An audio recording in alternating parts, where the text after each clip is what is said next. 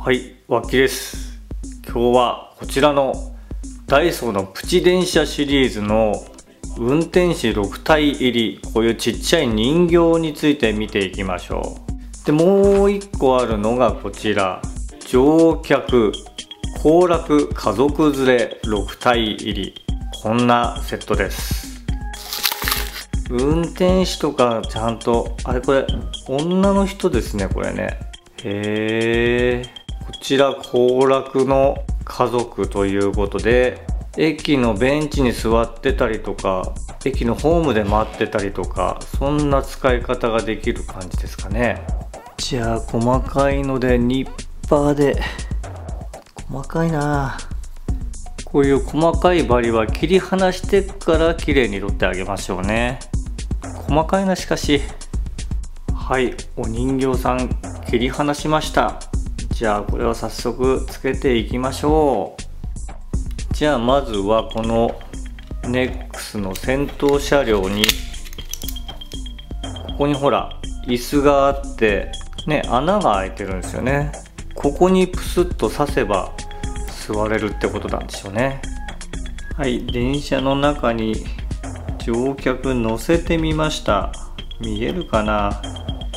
運転手さんもいるんだけど分かりづらいね乗ってんだけど見えないよね。あ後ろ姿が見えた。こんな感じでね列車の中に人を乗せることができるんですね。これ面白いな。駅にもつけていきましょうね。椅子にね穴が開いてんだよね。だからここに座らせることもできるわけですよ。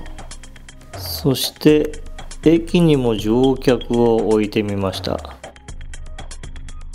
これ楽しいかもしれないな。ほんのちょびっとの出費でこういった遊びができるとなるとプラレール遊びの幅も広がりますよね。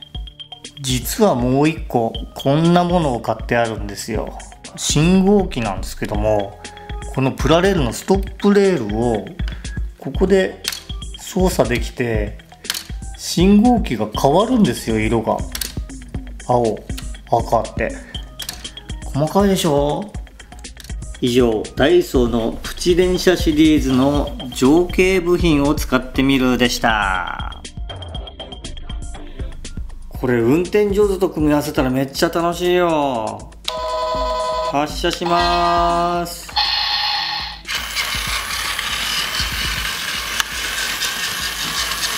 通過します。